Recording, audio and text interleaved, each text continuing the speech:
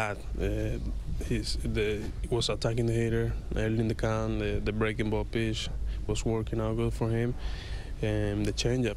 I think that that was the pitch that like, impressed me a lot tonight in those big situations. He he, just, he located really good to Grossman for the double play and the strikeout for, for the leadoff hitter. But yeah, I think the changes was the the big picks tonight. How do you think Josiah has improved the most this season?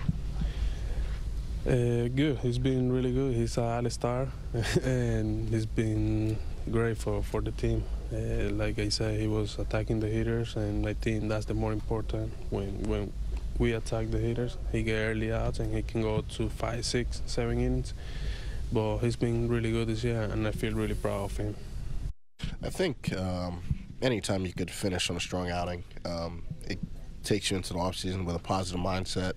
Uh, felt like feel like you can um, kind of check that box. Um, so I've been able to um, have a last couple good outings, but this one obviously feels sweet to you know, go into the offseason knowing that um, some of the changes I've, met, I've made over the last three outings, you know, have obviously breeded results. So I can focus on those things and, and look forward to the offseason being positive and getting back after it um, next year.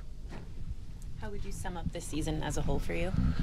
Uh, it's been a it's been a crazy season. Um, you know, to obviously be named an All Star is something I never dreamed of, and being able to go out there and, and succeed and just be uh, in that environment uh, was surreal.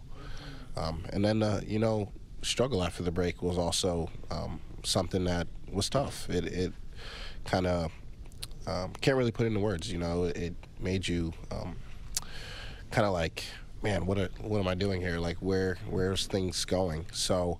Um, to be able to rebound from that, uh, obviously with the confidence of my teammates, confidence of the, staff, uh, you know, it, it, means a lot. It, it keeps you um, going out there, working every day to know that you know brighter days are ahead. So uh, this year's been, um, it's been a good year, but I know uh, there's a lot more work to be done.